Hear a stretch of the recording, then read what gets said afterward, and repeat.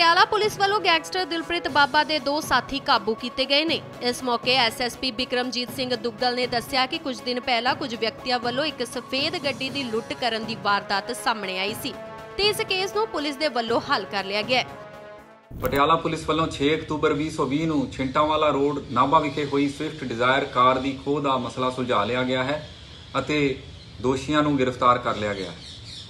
ਇਸ ਵਾਰਦਾਤ ਵਿੱਚ ਦੋ ਦੋਸ਼ੀ ਸ਼ਾਮਲ ਸਨ, ਜੋ ਕਿ ਨਾਮੀ ਗੈਂਗਸਟਰ ਦਿਲਪ੍ਰੀਤ ਬਾਬਾ, ਜੋ ਕਿ ਨਾਭਾ ਹਾਈ ਸਿਕਿਉਰਿਟੀ ਜੇਲ੍ਹ ਵਿੱਚ ਕੈਦ ਹੈ ਦੇ ਇਸ਼ਾਰੇ ਤੇ ਵਾਰਦਾਤਾਂ ਨੂੰ ਅੰਜਾਮ ਦੇ ਰਹੇ ਸਨ।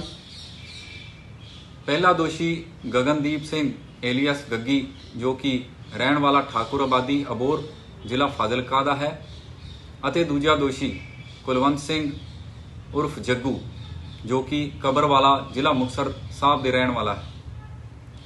ਇਹ ਦੋਸ਼ੀ ਹਿਮਾਚਲ ਪ੍ਰਦੇਸ਼ ਪੁਲਿਸ ਨੂੰ ਵੀ ਲੋੜੀਂਦੇ ਸਨ। ਦੋਨਾਂ ਕੋਲੋਂ ਦੋ ਪਿਸਤੌਲਾਂ, ਇੱਕ 32 ਬੋਰ ਅਤੇ ਦੂਜੀ 315 ਬੋਰ ਦੇ ਨਾਲ-ਨਾਲ 16 ਜਿੰਦਾ ਰਾਉਂਡ ਵੀ ਬਰਾਮਦ ਹੋਏ ਹਨ।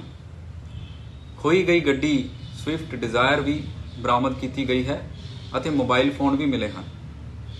ਇਸ ਤੋਂ ਪਹਿਲਾਂ ਗੱਗੀ ਉੱਪਰ ਤਿੰਨ ਮੁਕੱਦਮੇ, ਥਾਣਾ ਕੁਈਆਂ ਸਰਵਰ, ਥਾਣਾ ਸਦਰ ਅਬੋਰ ਅਤੇ ਥਾਣਾ ਨਾਲਾਗੜ ਡਿਸਟ੍ਰਿਕਟ ਬੱਦੀ, ਹਿਮਾਚਲ ਪ੍ਰਦੇਸ਼ ਦੇ ਵਿੱਚ ਦਰਜ ਹਨ। ਇਸ ਤੋਂ ਇਲਾਵਾ ਜੱਗੂ ਉੱਪਰ ਦੋ ਮੁਕੱਦਮੇ, ਥਾਣਾ ਕੋਤਵਾਲੀ ਬਠਿੰਡਾ ਅਤੇ ਥਾਣਾ ਸਦਰ ਅਬੋਰ ਵਿੱਚ ਦਰਜ ਹਨ। ਬੱਦੀ ਵਿੱਚ ਗੱਗੀ ਅਤੇ ਇਸ ਦੇ ਸਾਥੀਆਂ ਵੱਲੋਂ 22 ਸਤੰਬਰ 2020 ਨੂੰ ਦਿਲਪ੍ਰੀਤ ਬਾਬਾ ਦੇ ਕਹਿਣ ਤੇ ਸਾਹਿਬ ਸਿੰਘ ਦੀ ਸਕ੍ਰੈਪ ਸ਼ਾਪ ਉੱਪਰ ਗੋਲੀ ਚਲਾਈ ਗਈ ਸੀ।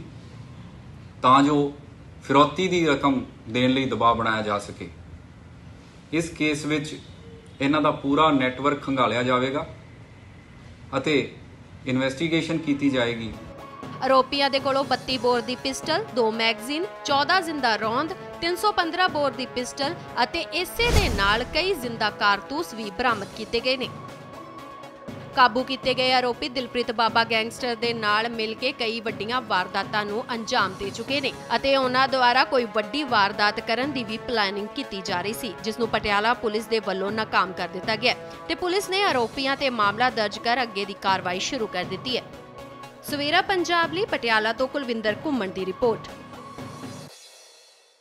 All world open challenge 17 time gold medallist Miyan Rafiq Mohammad पंडित मौलवी बेगम तांत्रिक इन चोरा ठग्गां तो सावधान स्पेशलिस्ट वशीकरण सट्टा नंबर लव मैरिज पति पत्नी च अनबन विदेश च पक्का होना कारोबार दा ना चलना सिर्फ़ 31 घंटिया विच समाधान फ्री फ्री फ्री मियाँ रफीक मोहम्मद मोबाइल चौरासी तीन सौ चौहत्तर चौरानवे छह सौ संताली चौरासी तीन सौ चौहत्तर चौरानवे छह सौ अड़ताली ਦੇਸ਼ ਦੁਨੀਆ ਦੀ ਹਰ ਵੱਡੀ ਖਬਰ ਦੇ ਲਈ ਹੁਣੇ ਡਾਊਨਲੋਡ ਕਰੋ number 1 news app Dainik Savera times